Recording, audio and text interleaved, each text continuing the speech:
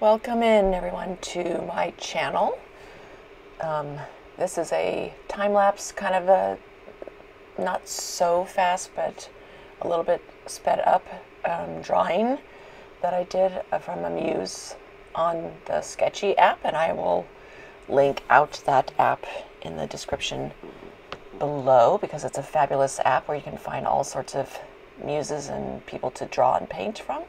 I'm just showing you the materials I'm using in this drawing, uh, which are the Derwent Graphitint series, and they are water soluble.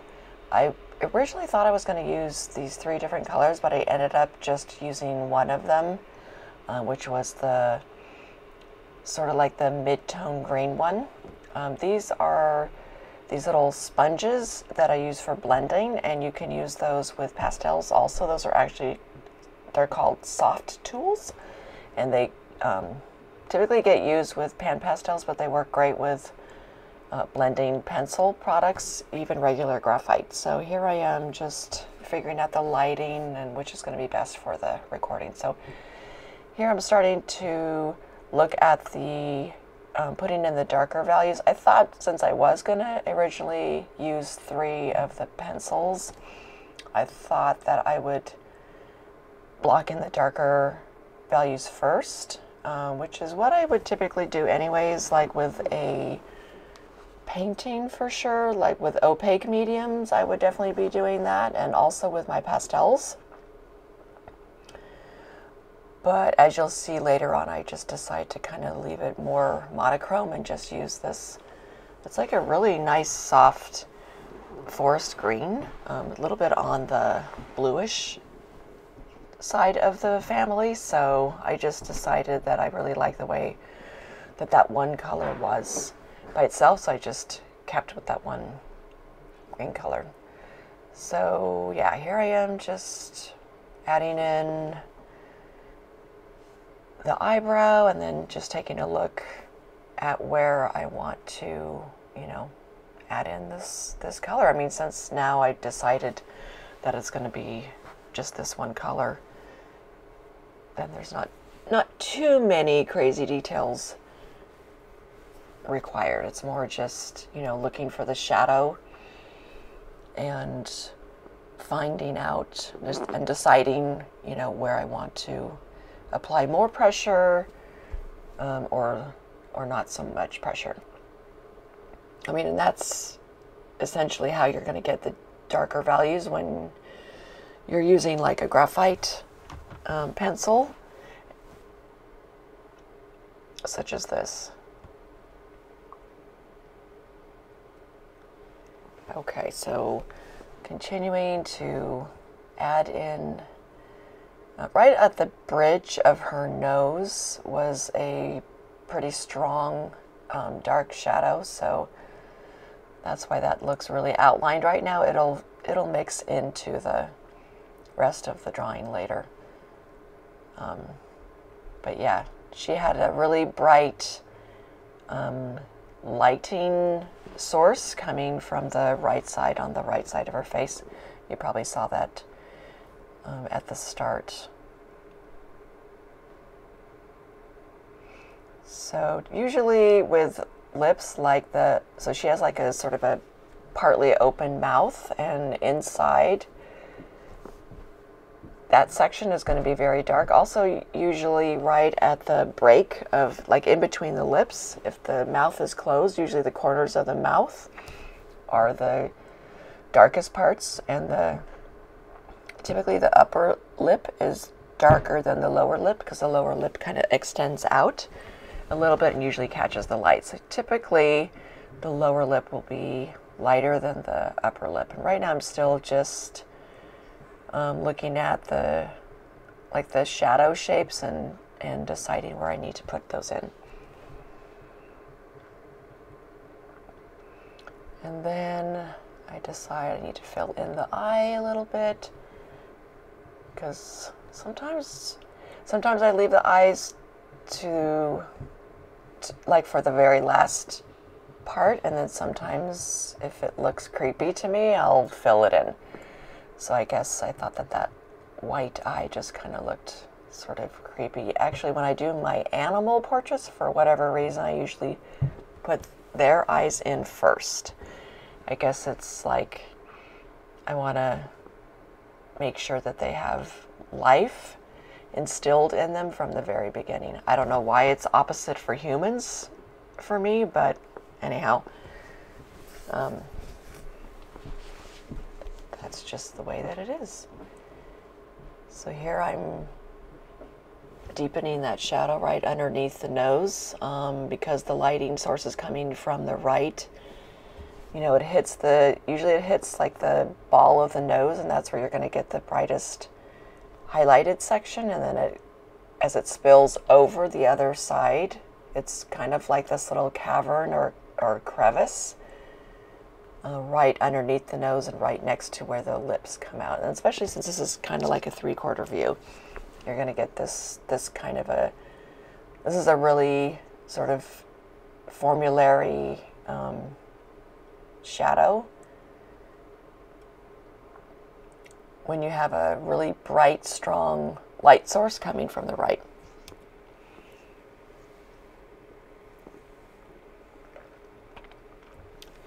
Um, and just so you guys know, I'm so excited today because I am using my brand new Blue Yeti, like, I guess it's a professional microphone. It looks really professional. And I'm using it for my my voiceovers now with my YouTube videos because I'm really trying to do more of these videos because um, I feel like I've finally gotten to a point, you know, like in my career where I want to start you know, sharing. I mean, I'm a I'm a art educator anyway, so it, it makes sense for me to want to teach um, people, or just to show people how I I personally do my art. It's not to say that you have to do it the same exact way, but um, like I said in a previous video, I love watching art process videos from other artists, and I think, you know, I pick up tips or and techniques from other artists because I think it's it's really useful to include, you know, or just to you know support other artists by watching their work, which I'm sure they've spent a long time, you know, refining and getting better at. So, yeah.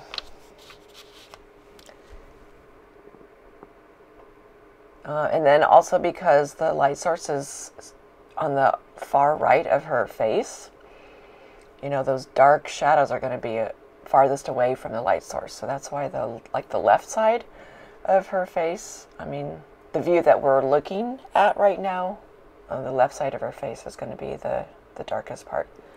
And then also, you know, the ear because it is a I mean, everything on the face is a three-dimensional form, so this is why I just, you know, you have to just look at it as if they, your face is built up off of all of these three dimensional shapes. And since the ear has the inside part of the ear, you know, that's where the darkest parts are going to be as well. So it's kind of like a little, like a little cup or a little bowl on the inside is that's where it's going to be darkest on the inside. And the the light hits the edge or the top part of the ear because it's rounded. It's they're kind of like little cylinder shapes.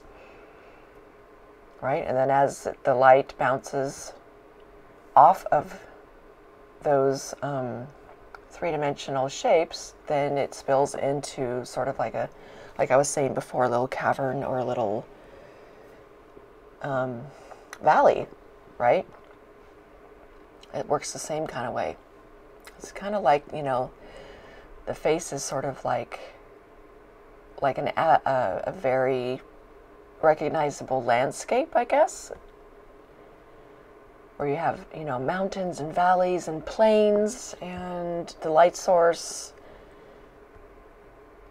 is really, really important. And um, so are values. Values is like getting having an understanding of how value shifts are so important to illustrating your story like that is probably the most important lesson i would impart to anyone is to really try to, you know, figure that stuff out. And it just takes practice. Um, shading those, you know, really traditional organic shapes like the, you know, the sphere and the pyramid and the, rec, you know, um, what else? The cylinder. Um, because I've done a lot of botanic illustration, I, I do, I started learning a lot about those shapes first and that really, really helped me um, take a look at those shapes in, in all aspects of life because they're everywhere. And they're so, so important. It's like the top number one technique or lesson. I would probably, you know, explain that to to anyone starting off in art is to get that down first because I think it's going to make everything else a lot easier. Plus, it'll make everything look better too. Um, that little sheet of paper that I have under my hand is called glassine, and it's just like tracing paper. You could put a paper towel under there, um, or tracing paper is fine. I just have this, I have a lot of this glassine around because I do a lot of work with pastels, and glassine doesn't pick up the, the pastel like I wouldn't be able to, I wouldn't really use a paper towel under my hand if I was going to do pastels because a paper towel would just absorb the pastel into it. So that's why I have this glass glassine. Plus I like it because I can see through it.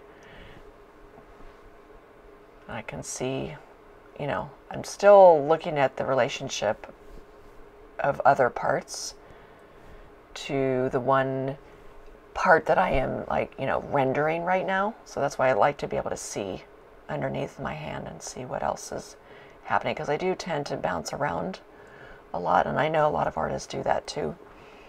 I think it's a really nice like holistic way of looking at your at your drawing is not to just focus too much on one part um, because like for me you know like if I've completely fully rendered you know the eyes like let's say I I decided I was gonna just fill in this eye all the way.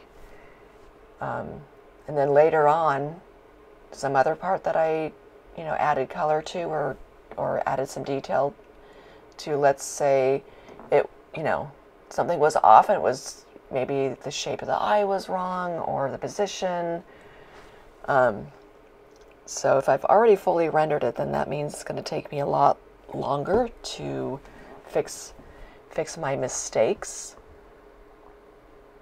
um, early on. So I usually, I mean, my my my technique, my process is sort of start with the bigger shapes and then work down to the smaller shapes and then even further details at the end. And that's pretty much how I work with most things.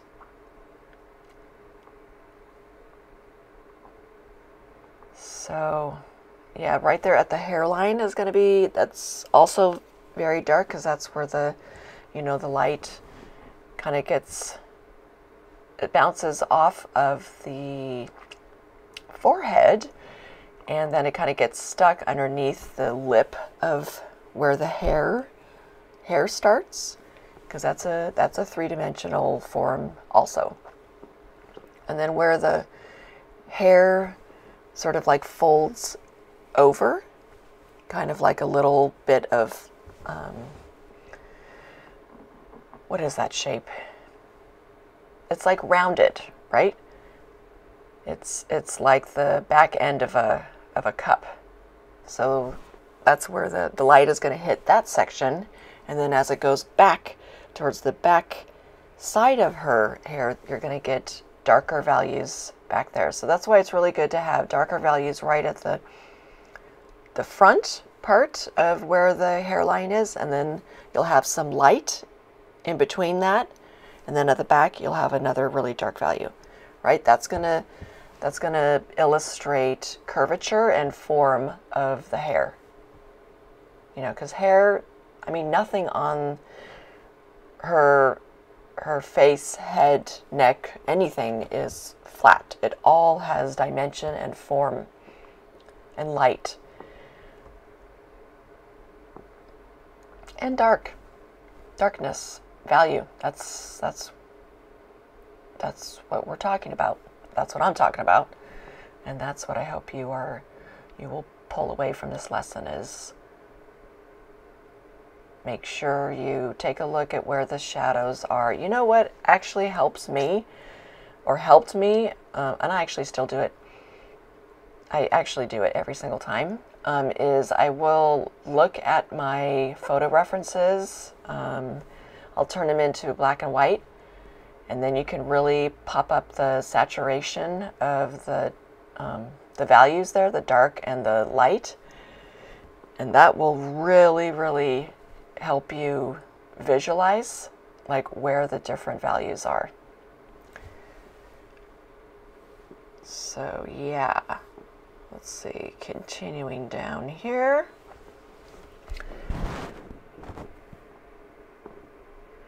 And you'll notice how some of these, even though, you know, this these are all shadows, like no no shadow is alike. And no no sections of the shadow are alike either. So there are some lighter values, darker values, um, and mid mid tones and then there's a whole bunch of shifts of value in between. But you know, this one I left it pretty pretty sketchy.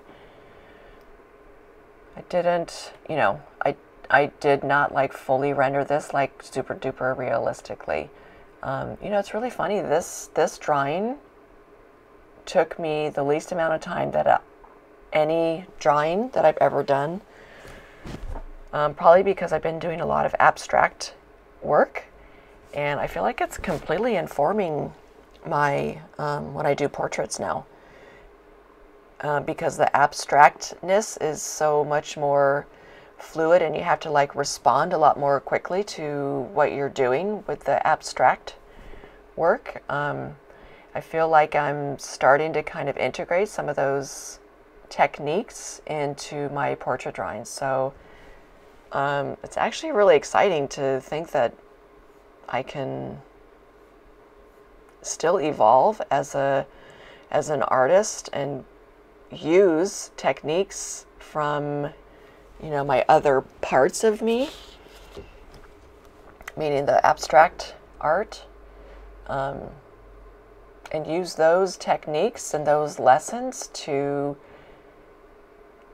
sort of improve upon um, art in other aspects because I love to do animals, I love to do plants, and now I love to do landscapes. And the pastels also for me are really good because they don't let me be too tight or refined, like the because just because sorry, because of the way that they are presented, meaning in those in the stick forms, I can't, you know, I can't get fine details with the pastels. So yeah, I think all these other mediums, which are, um, what am I trying to say? They're they are used in much different ways than like pencils and, you know, pens, uh, and even paintbrushes because I can actually get really fine detail with paintbrushes as well. So I'm really, really happy that I decided to kind of step out and try to experiment with these other mediums because I, I feel like it's going to really help me, you know, let loose of that side of me that I spent so long refining.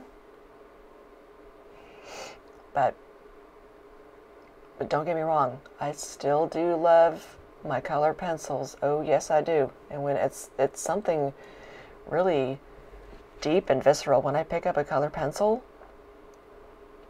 wow. My heart just sings and all I want to do is just scratch, scratch, scratch and make things look really real. But then, you know, like this is still technically a pencil but you can still get some pretty dynamic looks from this type of a medium too, I think. So, yeah, pretty cool. Art is just so cool. Uh, that little small eraser that I just used is called a click eraser, and it's um, it's a mono Tombow eraser. Let's see. Mon I'm sorry, Mono Zero. It is made by Tombow, but it's technically called a Mono Zero. It's really awesome for getting in in between really small spaces. So yeah, don't forget about the shadow um, underneath the upper eyelid um, that gets um, cast onto the eyeball. Because the underneath the eyelids are just kind of like they're like little mini rooftops, and you imagine any light source that gets um, bounced off the top of the roof. Well, guess what? The shadow is right underneath. Basically, right next to any shadow or any darker value, there's going to be a lighter value. And then right next to that lighter value, there's going to be another darker value. And that's what, you know, divides these sections into, you know, believable, believable parts. Right? Because if like her, if I had not done any shading to her face, it would just probably look like a sticker on the surface of this paper. But because I have identified, and actually it's only, it's mostly just because I'm been looking at the, the photo reference, right? It helps me determine where these different shifts are. So, um, after I get this drawing done, which is, I'm pretty much, I'm getting very close to finishing this drawing. Um, I do decide to add a little bit of color to the background with some Inktense pencils, so that will be coming up in the next section. And I like to use a brush to brush away any pencil crumbs that build up. You don't want to use your hand to wipe away or swipe away any of those pencil crumbs because there's pigment in those pencil crumbs and they'll just get swiped right across your drawing and then you might have to cry.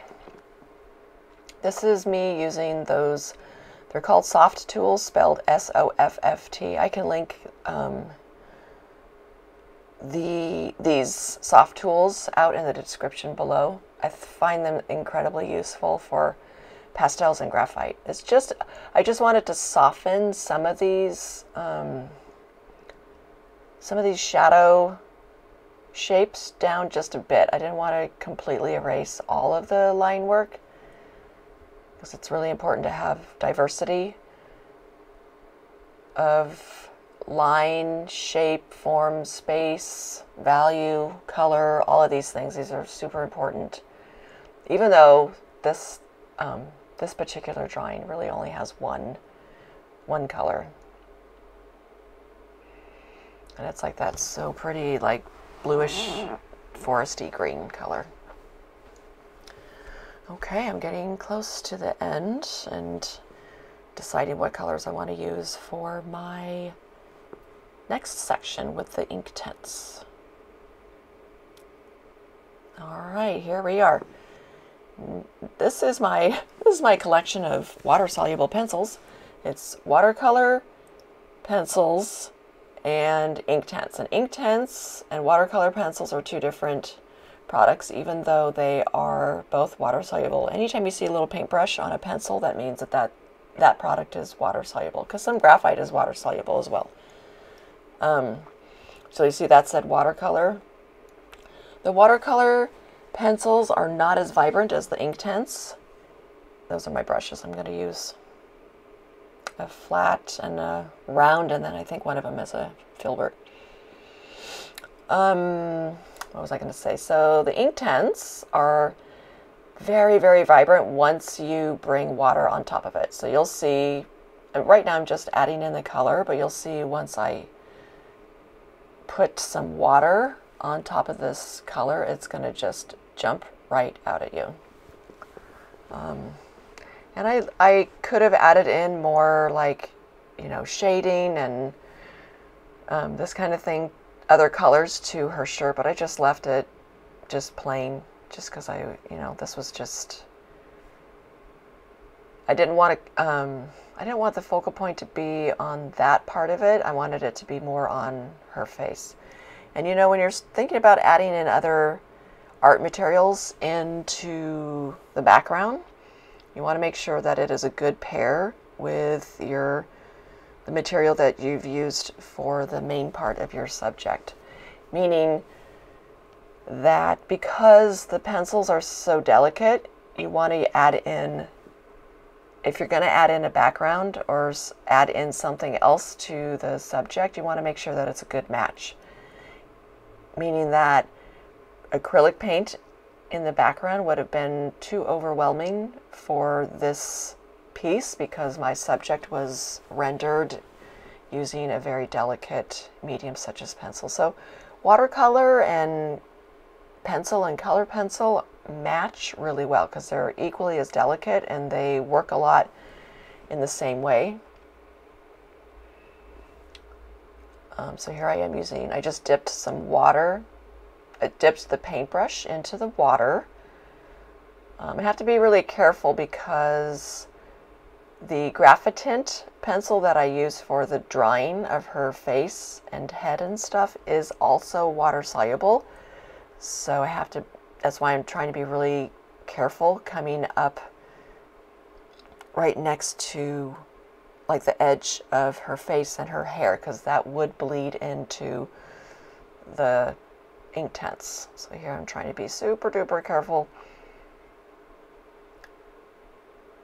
not to, um, you know, make the edge of her face bleed into where I'm putting down the, the magenta color. It's actually a fuchsia. It's called fuchsia Um, so yeah.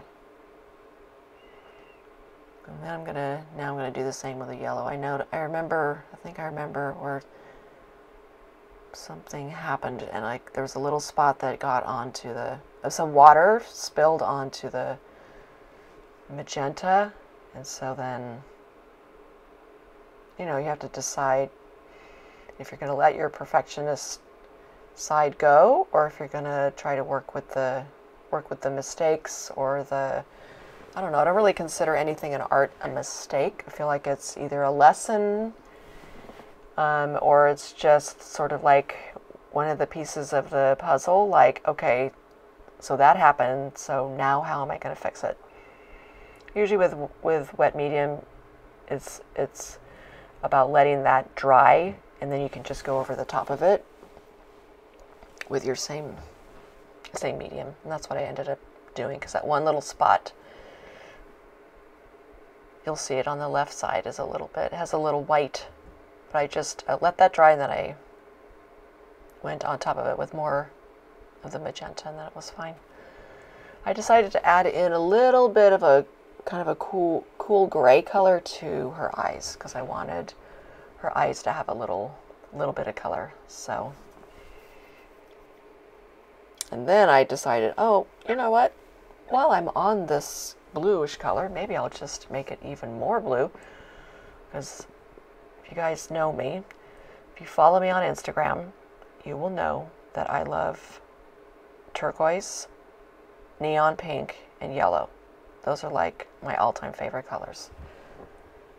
So for me, it's like, it's a matter of adding in those colors somehow into my pieces, at least right now. So you see I was able to sort of cover up that spot on the on the magenta. Then, you know, usually the, the outside perimeter of the of the iris is darker and then the, the color of the eye the, the is a little bit lighter typically. And then there's usually some some reflected light on some parts of the the iris of the eye. And then there's always a like a highlight on the usually on the pupil or not always on the pupil but there's a highlight somewhere on the eyeball, so make sure you include that because that just automatically adds life to your subject. Also with animal eyes, super duper important. Don't forget that.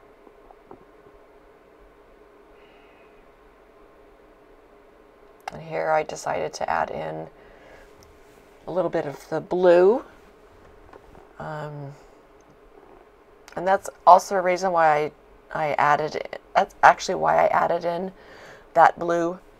Um, oh, here, I got a phone call in the middle of filming this from my dentist who um, was trying to reschedule some dental appointments. So that's what those little notes are to the right. So that's me and my daughter's um, dental appointments.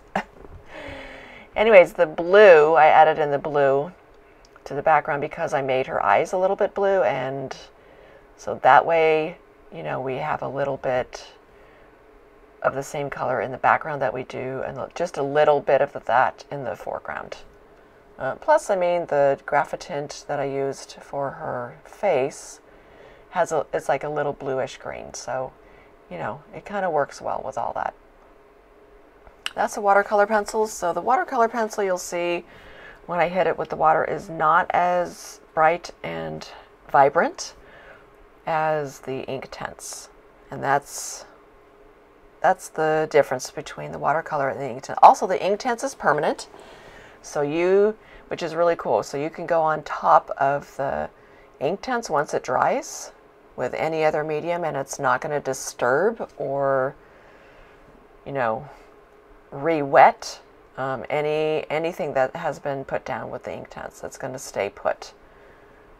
With the watercolor, actually with the watercolor pencils, it's it is harder to re-wet it, um, but technically it, it would if you hit it with some water, some other water medium on top of the what anything watercolor, there is a chance that it will um, re become you know it'll reignite with the with the water and there's a chance that you could disturb that layer that you put down with the watercolor. Although with the watercolor pencils, I have found that it tends to stay put um, a lot better than just like traditional watercolors out of the tube or from a pan.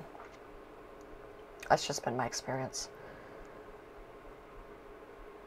But I don't really use watercolor pencils that much actually, so um, yeah, I just decided to use it because they were in the same container that my Inktense pencils were. Um, and this was like a little, the photo was of her looking into a, like one of those lit, like those mirrors that has the, like the circle light around it. So that's what this, this is supposed to illustrate. So we're getting to the end of the video. So I hope you guys liked watching me put together this drawing. I had so much fun doing it.